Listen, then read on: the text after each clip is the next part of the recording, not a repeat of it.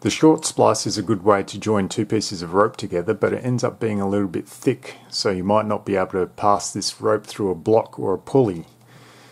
If you want to join rope and not increase the diameter too much, you're going to need to know how to do a long splice. This is easiest to do with rope that holds its spiral shape when you unravel it. If your rope doesn't hold a spiral shape, then the easiest thing to do is to smother your rope with hair gel first and wait till it sets and then you can unravel your rope and once you've done that you just want to seal up these ends so they don't fray. If you're using synthetic just heat treat them and if you're using natural fibre you're going to have to put a little whipping around the end.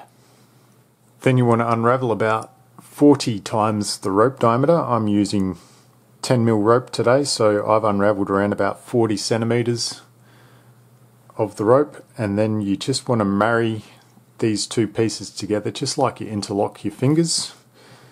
So we'll interlock these three strands on both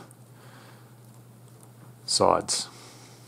So once you have your rope interlocked, just pick any strand on the right hand side and then what you want to do is take the opposing strand on the other rope just to the left of it and then what you want to do is unravel that one just a couple of turns and then lay that one into the groove that was just vacated a couple of turns.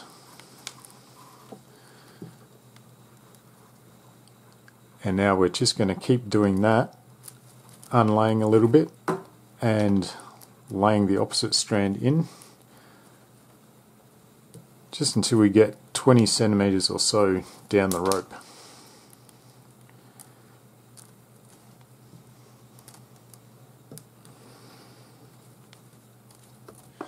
So once you've moved along the rope, the rest of the rope should look exactly the way it did before if you've laid that strand in nice and evenly. And then what we want to do is just where it joins here, we're going to tie an overhand knot just temporarily so it sits nicely in that groove. So we're just going to tie that off and then we're going to leave this for the time being and go back to where we started at the center and now we're going to repeat the process but going in the opposite direction. So pick a strand. And this time we're going to pick a strand to its left which will be this one. And I just want to unravel that strand a couple of turns and then lay the strand in that groove that was just vacated and we're going to do the exact same thing. Unlay a little bit. And lay this opposite strand into the groove as it's being vacated.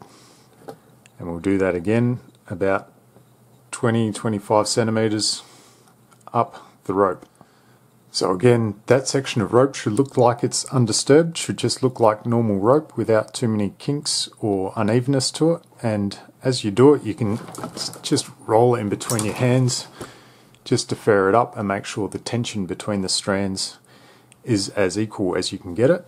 And then when we get to the junction, again, what we want to do is just tie a simple overhand knot in that space and the rope should look relatively undisturbed here at the junction. And now we're going to go again back to where we started. So when we're back at the middle we have the last two strands and we don't need to do anything with these ones. We don't need to unravel any more rope. All we're going to do is again tie an overhand knot at that junction just to marry these two together. Nice and tight. Just like that. And then we're going to move again to the left hand side where we did our first unraveling. When we get to the junction at the very left hand side what we want to do is just splice these two ropes together finally. And we're going to do that by doing an over under weave. So the rope exits here. We want to go over this strand, under, over that strand, under, over, under, and continue splicing along the length of the rope. So you just need to open it up and I'll go over one, under one, push the end through, make sure that there's even tension on the rope, roll in between your hands, between each tuck, and then repeat the process. Over one, under one.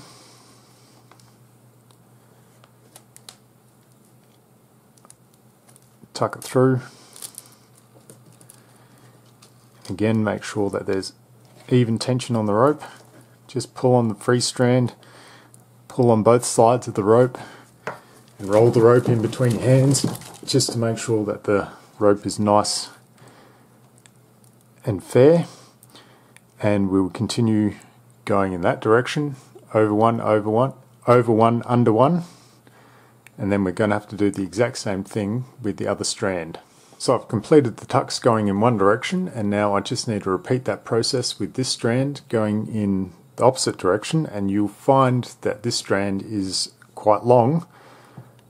Uh, so you have the option you can just tuck this long strand or to make it easier you can just at this stage cut this long strand shorter and then again fuse the end. So I've just cut this short and I've fused the end and now I'm going to splice going in the opposite direction and again it's just over one under one so see where it exits the lay of the rope and it's going to go over one under one over under all the way along the rope so again open it up just by twisting the rope opening a gap and pushing that free and through and then pull on the end, pull on both ends of the rope and roll it. Make sure that the whole thing is nice and fair so we get even tension once we've spliced these strands together and just continue along over under over under. So once you've finally spliced together that left hand section you can move to the middle and repeat the exact same process over under in one one direction and then over under in the other direction and then finally go to your very right hand side and do the exact same process over under in one direction and then over under in the other direction so after you've spliced together all three sections what remains is just to cut these ends short here, the ones that are just hanging loose, and then fuse the ends. Then your finished splice should be nice and thin and have three spliced sections. One, two, and three.